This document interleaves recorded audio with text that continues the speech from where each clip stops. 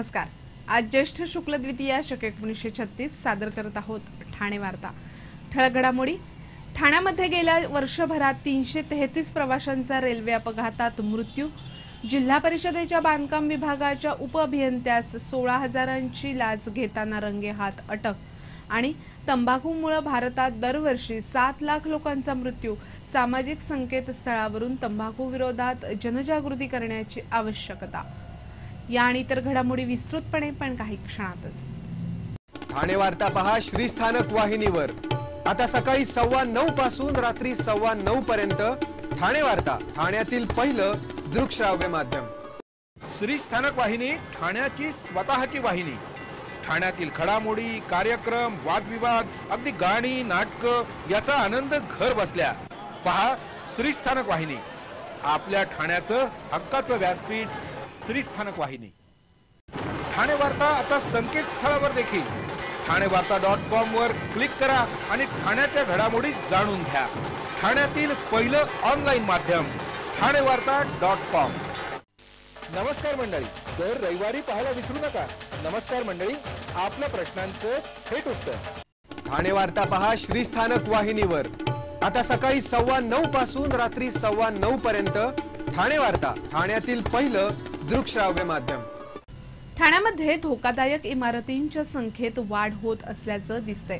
पालिकेनं केलेल्या सर्वेक्षणात गेल्या वर्षीच्या तुलनेत नौपाडा प्रभागात धोकादायक इमारतींची संख्या चव्वेचाळीस न वाढली असून पालिका प्रशासनानं धोकादायक इमारतींची यादी प्रसिद्ध केली आहे या इमारतींच्या मालकांना पालिकेनं नोटिसा पाठवल्या असून पावसाळ्यात विशेष खबरदारी घेण्याचं आवाहन केलंय.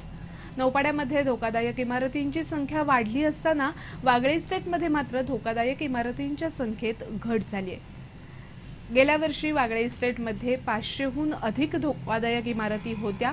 त्यामध्ये सत्तावन्ननी घट झाली आहे पालिका प्रशासनानं धोकादायक इमारतींमध्ये राहणाऱ्या रहिवाशांना सुरक्षित स्थळी आसरा घेण्याचं आवाहन केलं आहे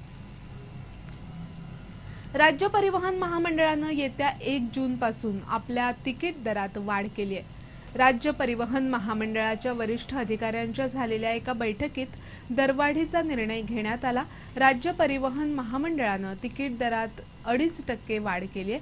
ही वाढ वातानुकूलित तसंच आराम बसलाही लागू राहणार आहे. येत्या एक जूनपासून लागू होणारी ही दरवाढ बारा किलोमीटर पुढील प्रवासास लागू करण्यात आली आहे. यामुळे भिवंडी बोरिवली पनवेल घोडबंदर अशा ठिकाणच्या प्रवाशांना या दरवाढीचा फटका बसणार नाही. मात्र या दरवाढीमुळे राज्य परिवहन महामंडळाच्या लांबच्या प्रवाशांच्या संख्येत घट होण्याची शक्यता व्यक्त होते सेवेमध्ये कोणतीही वाढ न करता तिकीट दरात वाढ करण्याच्या निर्णयाबाबत प्रवाशांनी नाराजी व्यक्त केली आहे. तंबाखूमुळे जगात दरवर्षी साठ लाख लोक मृत्युमुखी पडत असून त्यापैकी एकट्या भारतातच सात लाखांपेक्षा अधिक लोक मृत्युमुखी पडतात हे धूम्रपान अथवा तंबाखूच्या सेवनामुळे होत आहे. उद्या म्हणजे एकतीस मेला जागतिक तंबाखू विरोधी दिन साजरा होत असून या पार्श्वभूमीवर जागतिक आरोग्य संघटनेच्या अहवालात ही माहिती असून सामाजिक संकेतस्थळाद्वारे तंबाखूच्या दुष्परिणामविषयी जनजागृती करण्याची आवश्यकता व्यक्त होतीये. धूम्रपानाचं व्यसन लागण्यास समवयीन मित्रांचा दबाव हे जसं प्रमुख कारण आहे. त्याचप्रमाणे धूम्रपानास एक स्टाईल आणि तणावमुक्त करणाऱ्या वस्तूच्या रूपात पाहिलं जातं. फेसबुक ट्विटर व्हॉट्सॲप सारख्या सामाजिक संकेतस्थळावरून धूम्रपानाचे दुष्परिणाम तरुण वर्गाला सांगणं गरजेचं झालं आहे भारतामध्ये अडीच कोटी व्यक्ती धूम्रपान करतात. एका आरोग्य संस्थेच्या अहवालात पुढील दहा वर्षात धूम्रपानानं मृत्युमुखी पडण्याचं प्रमाण तीस टक्क्यानं वाढण्याची भीती आहे.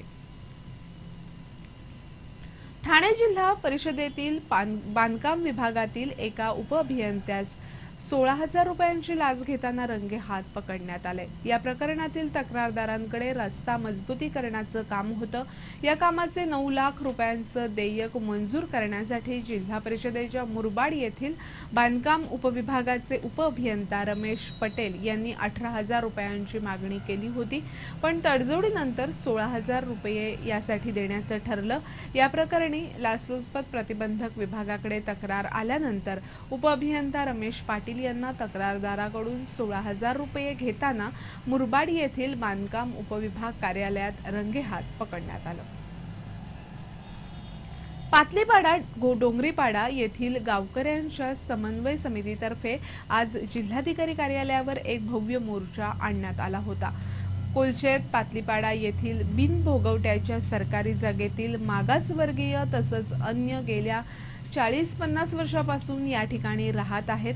येथील रहिवासी पूर्ण हक्क मिळवण्यासाठी अतिक्रमण केलेल्या जमिनीच्या कायद्याप्रमाणे कब्जा हक्काची रक्कम अकृषिक आकारणी आणि दंडाची रक्कमही भरण्यास तयार आहेत.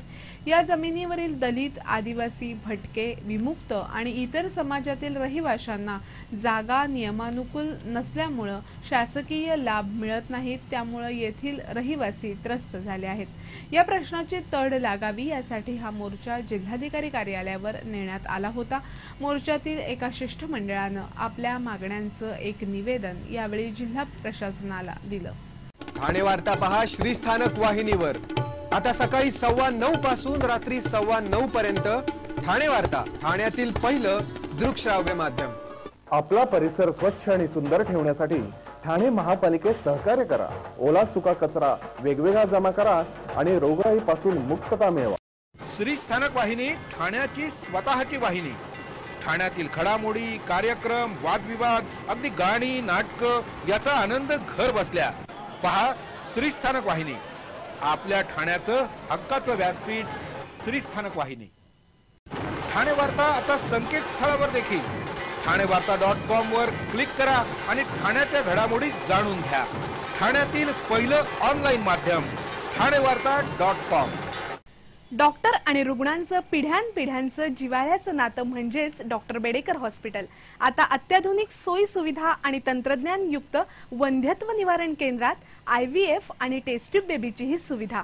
Doctor Bedekar hospital Maharshi Karvepath Thane. पासष्ट वर्षांची निरंतर सेवा. ठाणे वार्ता पहा श्रीस्थानक वाहिनीवर.